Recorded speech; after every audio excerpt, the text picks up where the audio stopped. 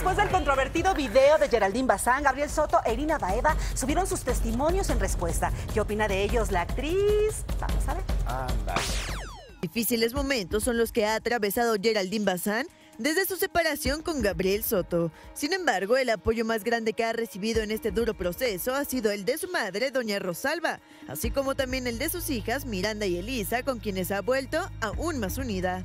Llegué un poquito tarde, ¿no? Porque entre que las bañaba y entre que me arreglaba y el arete y entre que las, este, las hacía la trenza para que ya se durmieran, pues es, es un todo, ¿no? El ser mamá y tratar de estar al 100% en cada una de las cosas.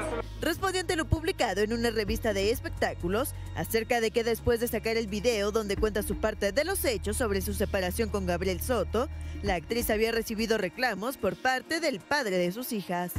Yo no recibí ni reclamos ni disculpas. Geraldine agradeció los comentarios positivos que ha recibido a raíz de la publicación de dicho video, por lo que no se arrepiente de haber hablado. Fue en ese momento, ese mismo día, en el que eh, decidí divorciarme. No me considero ejemplo estandarte para nada, creo que finalmente soy una mujer que habla con la verdad y habla de frente y, y no tengo miedo y, y, no, y si no tienes miedo y hablas con la verdad no hay por qué avergonzarse o, o echarse para atrás de lo que uno dijo. Bazán le respondió la nueva pareja de su ex esposo, Irina Baeva, quien a través de un video le pidió disculpas por el daño causado, así como también esperaba que pudieran convivir algún día. No, mi amor, no. Bueno, ¿quieren saber algo más?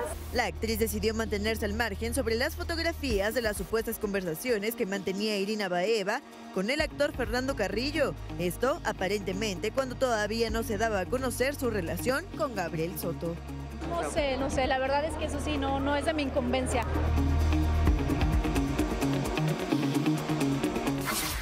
Ya, ya, está harta de que todo el mundo le ande preguntando y acosando. Bueno, pero, pero, es que ya abrió la croaca, pienso yo.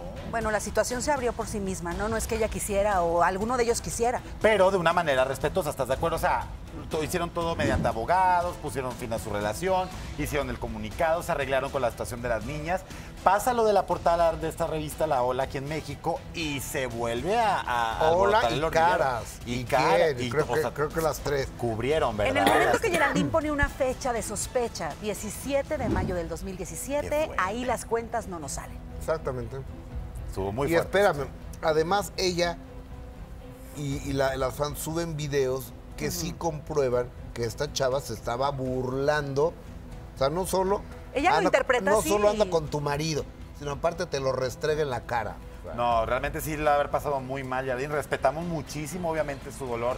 Como mujer, como madre, se ha portado extraordinaria. Ellos han logrado una cordialidad como hijas. papás, mi eh, Gustavo. Lo han logrado como papás. Esa, esa separación no. fue cordial, pero esta situación no. La de pareja no la han logrado y yo creo que se, yo pienso, no sé, que a lo mejor hasta ya se fracturó esa cordialidad que había antes porque fue muy fuerte lo que pasó, fue yo una creo guerra que de está videos. fracturadísima. Yo creo que sí. De primera mano, lunes a viernes 12 del día, participa en Imagen Televisión.